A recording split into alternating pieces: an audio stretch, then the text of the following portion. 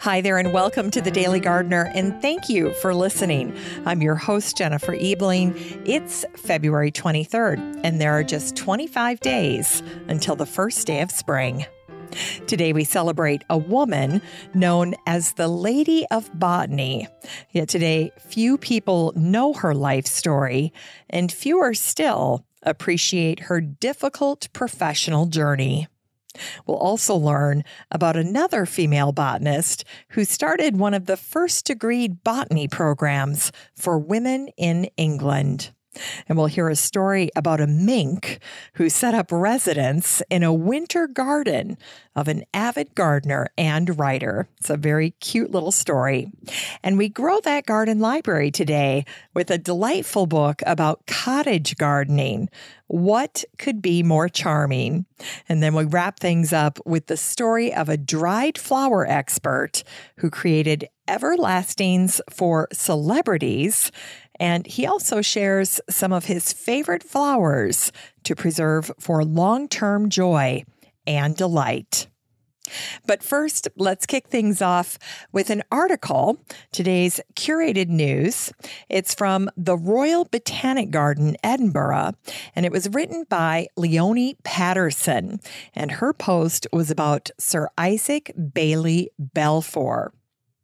Now, anything by Leonie generally catches my eye because she works at the Royal Botanic Garden and she does such a wonderful job in helping to preserve and keep alive all these wonderful stories of the people that were true pioneers in botany. Now, this particular article on Sir Isaac Bayley Balfour is actually an extended version of a talk that Leonie gave. It was called Trailblazers, and it marked the garden's 350th anniversary back in October of 2020. That was on the 15th of October was the official 350th anniversary. Isaac followed in his father's footsteps when he became a gardener. And in fact, he eventually became the Regius Keeper of the garden, of the Royal Botanic Garden, in 1888. Now, when I think of Isaac Balfour, I think of his strong desire to educate his students to become top horticulturists and foresters. And in this post, there is a marvelous picture of Sir Isaac sitting down. He's in the front row and he's surrounded by his students. It's just an incredible picture. And it looks like they're in one of the greenhouses. It's really a treasure.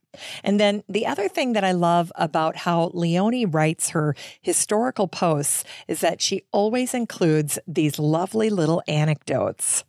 In this piece, she writes, in the years before the First World War, it was the custom for the professor of botany to take his class out for a botanical excursion on Saturday mornings. Well, one day, Isaac was standing beside a hillside pond and he was teaching the students about a particular alga you could almost guess what happened next. The class was crowding around him when one of the students, it says, with more brawn than brains, decided to give a shove, and Balfour lost his balance and was pushed into the water. Now, Leonie goes on to say that the moral of the story was that that particular student never passed his professional exams. And sadly, what that student ended up doing was joining the army and then in the outbreak of the war was killed in France.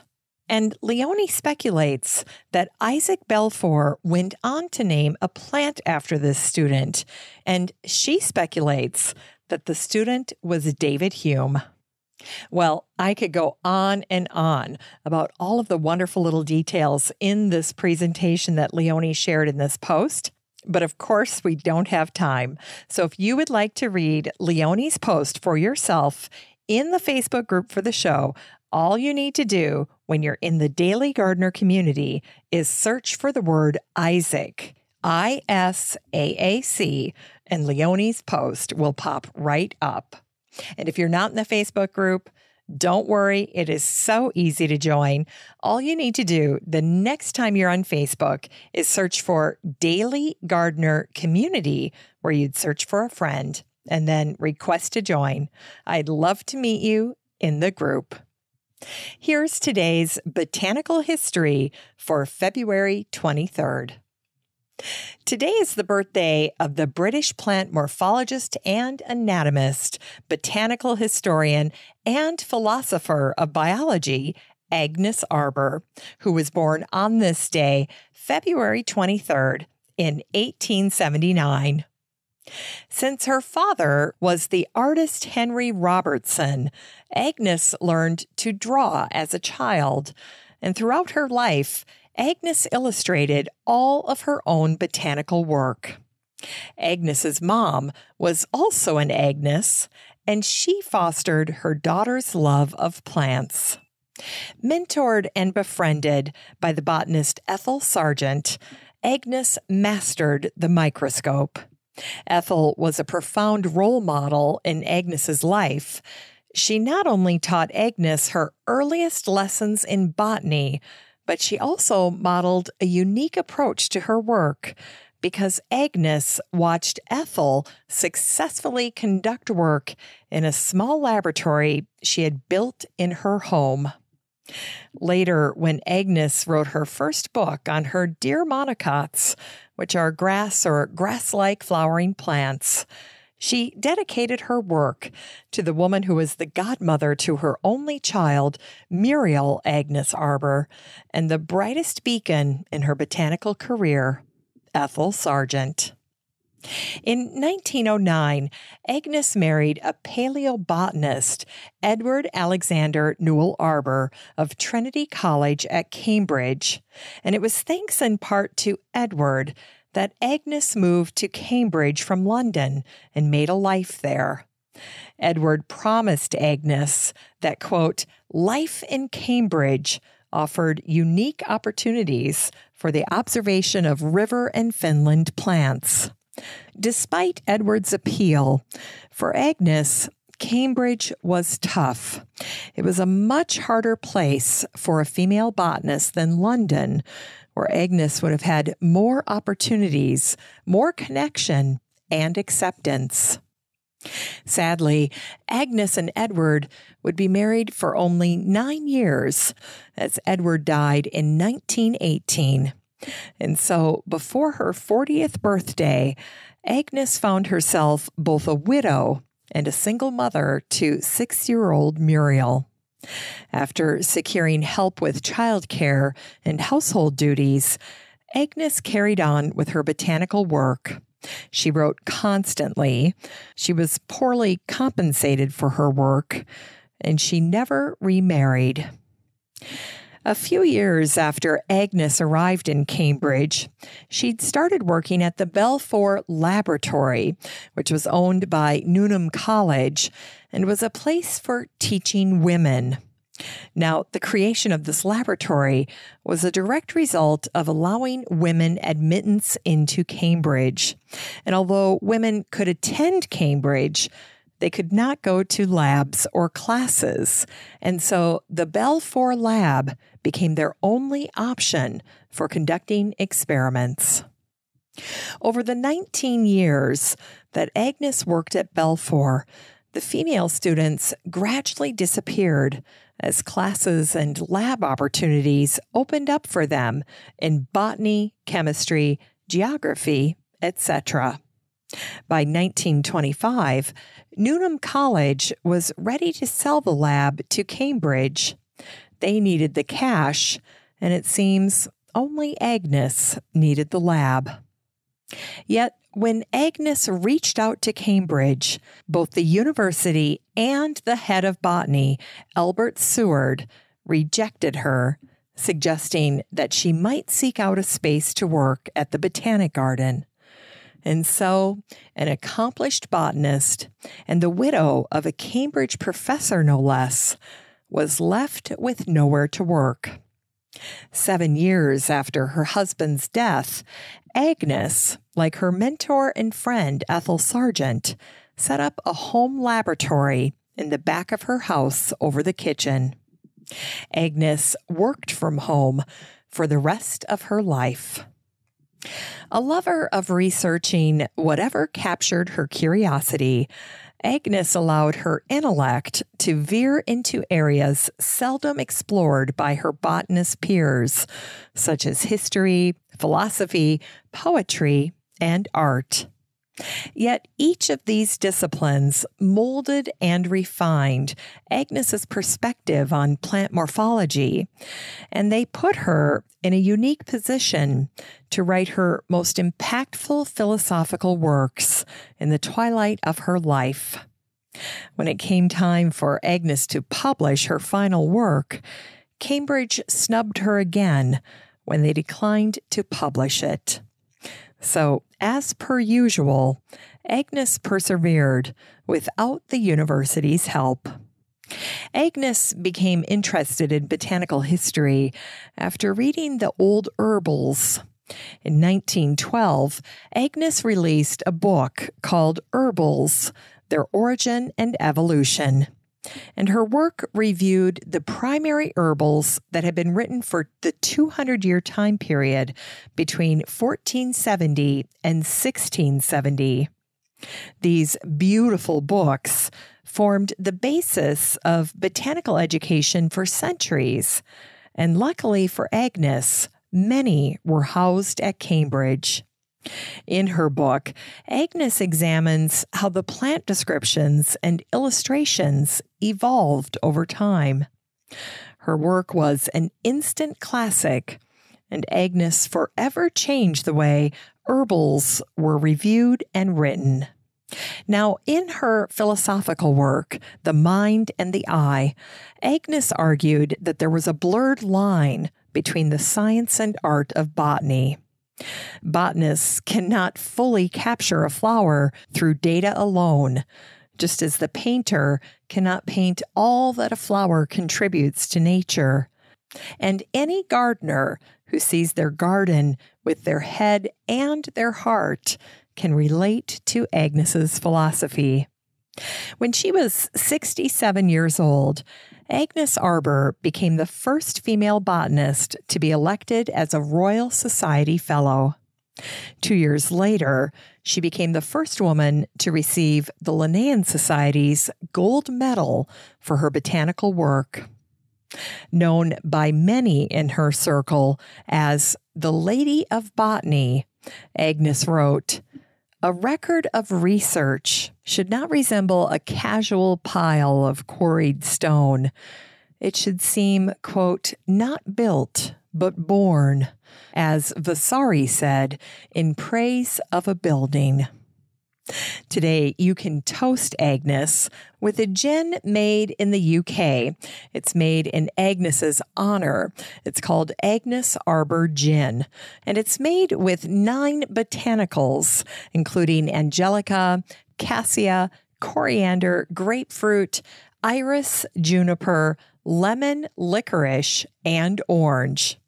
And I think Agnes would be especially touched by the beautiful hand drawn botanical illustrations on the label of every bottle. And if ever there was a female botanist that deserved to be toasted, I believe Agnes Arber fits the bill. And today is the anniversary of the death of the British botanist and botanical pioneer Marion Delf Smith, who died on this day, February 23rd, in 1980. A botanical trailblazer, Marion started the botany program at London's Westfield, a woman's college preparatory school, in 1906. To make the program a reality, Marion fundraised relentlessly, and then she bought everything the program needed to teach botany, mount specimens, store collections, and conduct field work. Ultimately, Westfield became one of the only places in the world where women could learn how to study botany.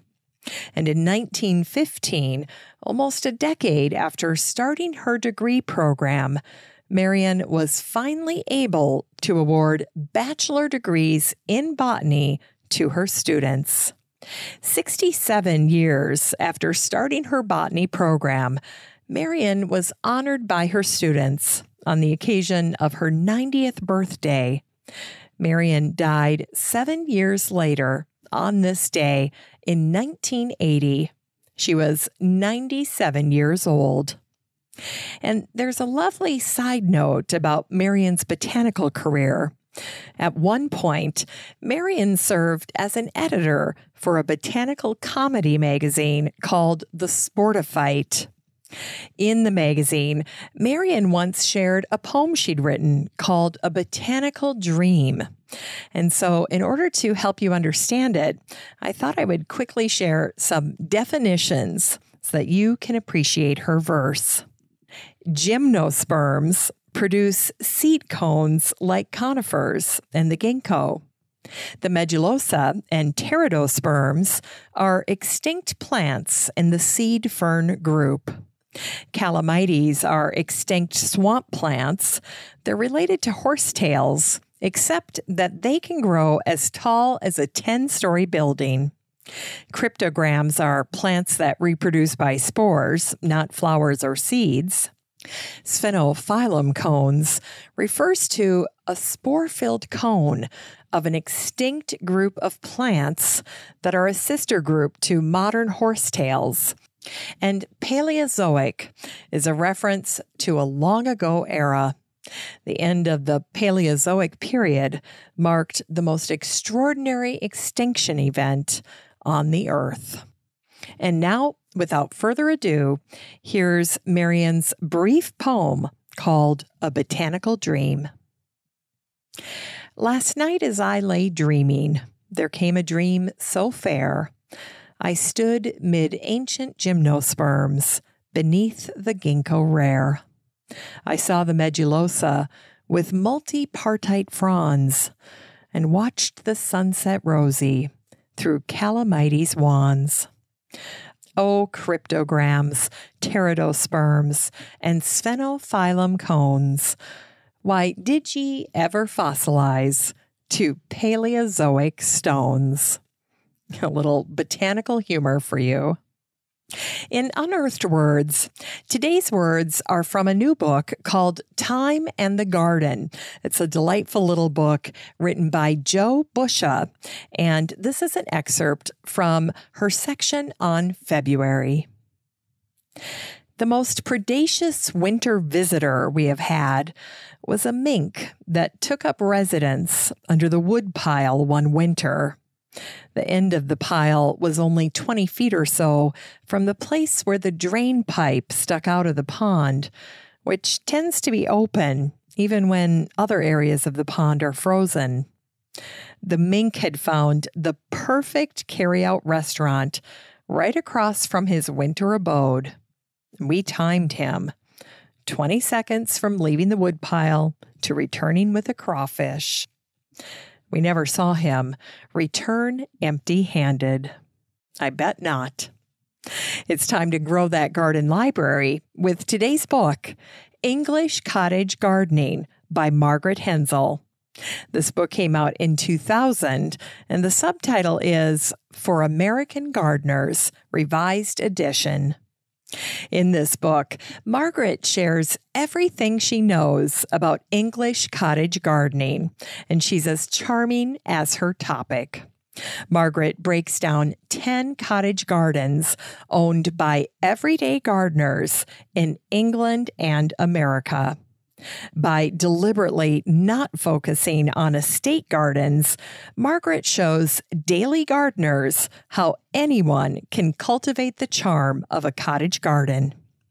With inspiring photographs, Margaret focuses on plants that are easy to grow and give the look cottage gardeners love enchanted shapes and natural forms, gentle colors, and endearing varieties. The last section of the book shares a glossary of 76 plant recommendations, including the Latin and common names, how to use them in the garden, as well as a list of places to find old rose varieties. This book is 256 pages of an English cottage garden masterclass taught by a garden designer who loves to teach the most novice gardener to create enchanting gardens and vistas right outside their windows. You can get a copy of English Cottage Gardening by Margaret Hensel and support the show using the Amazon link in today's show notes for around $10. Such a steal. Finally, here's something sweet to revive the little botanic spark in your heart. It was on this day, February 23rd, in 1991, that the Hartford Courant shared an article that was written by Anne Farrow called Garden of Everlasting Delights. This fantastic article features Gregg Fisk of Gregg Fisk Designs and his incredible dried arrangements and flower drying skills. Gregg's creations are truly a cut above the rest, and his celebrity clients have included Barbra Streisand and Lady Bird Johnson.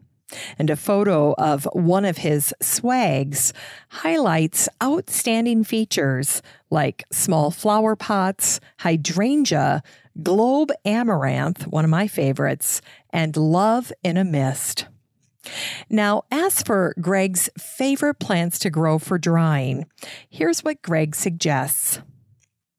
Some of the basics are globe amaranth, which signifies immortality, American statice, which is a ruffle edged annual that's durable and can be grown in a variety of colors, as well as straw flowers, asters, zinnias, heather in several different colors, and nigella, a flower with delicate mauve seed heads and a beautiful common name, love in a mist. The current crop of books on growing flowers for drying also recommends hosta, the ubiquitous shade garden perennial, poppies, which have a globe shaped seed case that dries easily, astilbe, ivy, baby's breath, and the evocatively named money plant, which has a silvery translucent seed case. Great idea. Now, another must have for the home gardener who's interested in drying flowers is the rose. And here, Gregg recommends planting a climbing rose, like the one called the fairy. It adds a finished, old fashioned appearance to dried arrangements. And as someone who used to grow the fairy, I can tell you that that would exactly be the case. It would be a great addition. Now, from the herb family, Gregg chooses rosemary, which of course has dark blue green needles and a wonderfully piney perfume. He also likes bay for its fragrance and both Silver King and Silver Queen Artemisia. The Artemisias, which are really silver colored, look very handsome and puffy in the garden and in dried arrangements. The bright golden florets of yarrow, a perennial grown in the earliest New World gardens, is another of the herbs that Gregg always chooses, as are lamb's ears, which has a velvety gray green leaf that's soft even when it's dried. And it's often shown in herb kits for children because it's so touchable. And Gregg says that lamb's ears are particularly pretty in wreaths that have a lot of pink flowers or placed in a bowl of homemade potpourri. And then he talks about bigger flowers. White lilacs, for instance, can hang dry easily and turn a pearlescent cream color. And then hydrangeas can also be hang dried and then dyed in a variety of shades. And then he gives this tip asters, which are a garden classic, dry beautifully in beach sand. Gregg says, Experimentation teaches you a lot, and I have found an ally in the microwave oven. The results, particularly with peonies, daffodils, marigolds, and roses. And Gregg says that the special advantage of microwave flower drying is that the delicate natural color of the bloom is preserved because the drying time is a fraction of traditional methods. So there you go. If you have some early daffodils coming out and you want to try to dry one of them, just take a cutting and pop it in the microwave. Set the timer for 30 seconds and then check on it. And if it's not dry enough, you can set it for another 30 seconds and so on. You may have to use your judgment here and you may have to adjust the time a little bit, but you should be able to have a dried daffodil in a matter of minutes. Thanks for listening to The Daily Gardener. And remember, for a happy, healthy life, garden every day. Hey, thanks for spending part of your day with the Daily Gardener. If you want to read even more botanical brevities, just head on over to thedailygardener.org. That's where you can find all the stories, biographies, and books that I share on the show. And while you're there, be sure to sign up for my free Friday newsletter. It has lots of goodies in it, and I try to make the newsletter like you're getting a marvelous letter from a garden friend. You can always find the Daily Gardener on all your favorite social media. You can follow the show on Twitter, and you have a standing invitation to join the free Facebook group for listeners of the show. Just search for Daily Gardener Community the next time you're on Facebook and request to join. Last but not least, you can easily share your gardener greetings or book submissions by emailing me at jennifer at thedailygardener.org. The Daily Gardener is produced in lovely Maple Grove in Wyoming, Minnesota, with the help of Paige Mance, Brooke Beerbaum, and Eric Begay. I'm your host, Jennifer Ebling, and as always, have a great day in the garden, and we'll see you tomorrow.